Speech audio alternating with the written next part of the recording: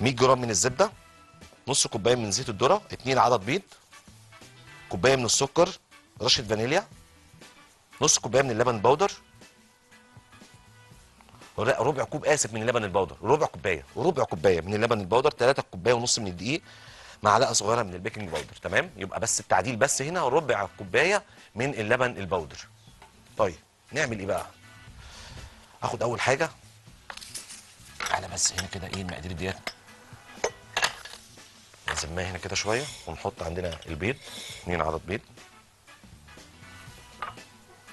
سكر. وفانيليا. واديها كده.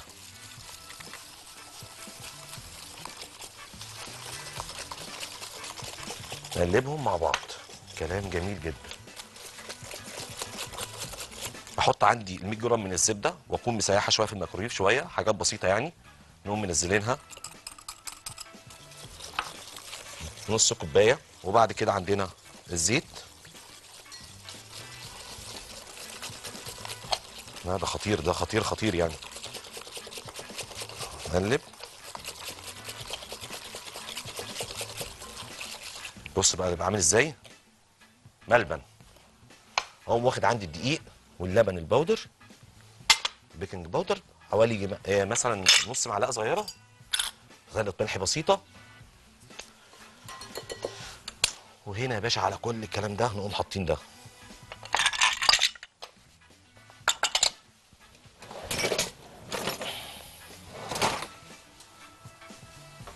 يا باشا البسكوتة بقى عاملة إزاي؟ بص العجينة اهي. اهي شغل عالي. زي الفل.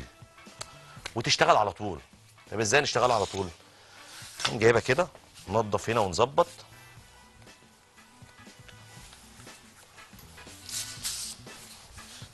خالص. خدها كده؟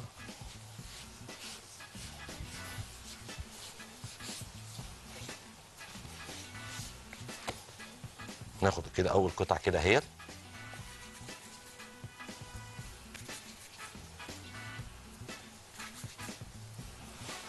نحط عندنا التمر الطري أهو.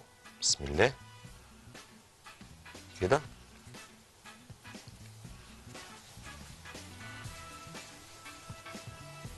ماشي؟ اهي. وبشوكة. نقوم جايين كده. عاملين بص اهي. نقوم عاملينها كده. زي القمر. نقوم واخدينها وحاطينها هنا. بسكوت العجوة اللي إحنا اشتغلنا بيه بص لسه الفرن اهو. آه يعني لسه. يطلع ده جميل.